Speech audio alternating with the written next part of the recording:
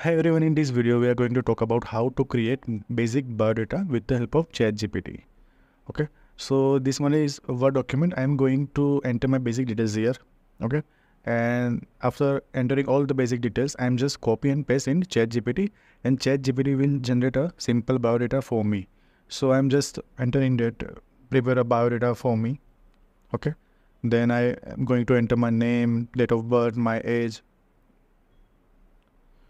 so you can enter details as per your requirement. As many as information you will enter here you will get biodata accordingly okay?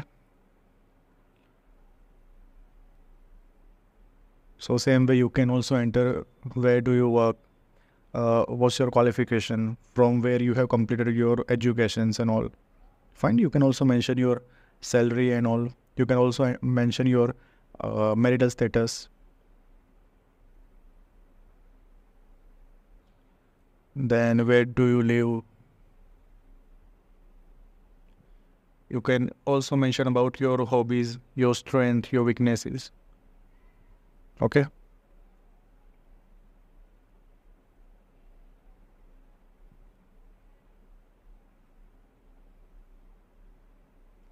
I'm just giving basic detail to just show you okay? I'm not here entering all the details. I'm just giving basic details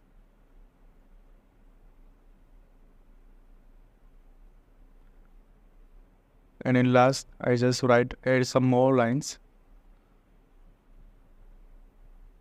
which I can present okay? So give me in format which can be copied in word easily. Fine? So i'm just going to copy this prompt and just paste in ChatGPT. So you can see that our biodata has been ready here. Now you can also add some details here, like if you want to add some points and all. Fine. So whatever information I have given, uh, biodata contains all the details. Okay.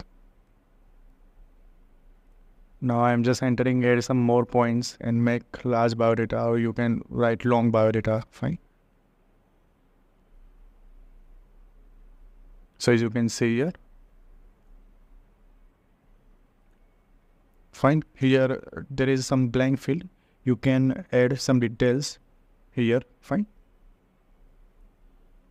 Now you can simply copy this and you can paste in Word okay. Otherwise you can use uh, paste as special also. Okay. Now you have to just you have to do little bit formatting here. Like you have to bold some of the taxes and you can change the size of text and all. Okay. And from design you can also add page borders you can also change page color okay let's add this one fine so whatever content is there you can write with the help of ChatGPT. So in this way we can create basic biodata with the help of ChatGPT. Okay. Thank you.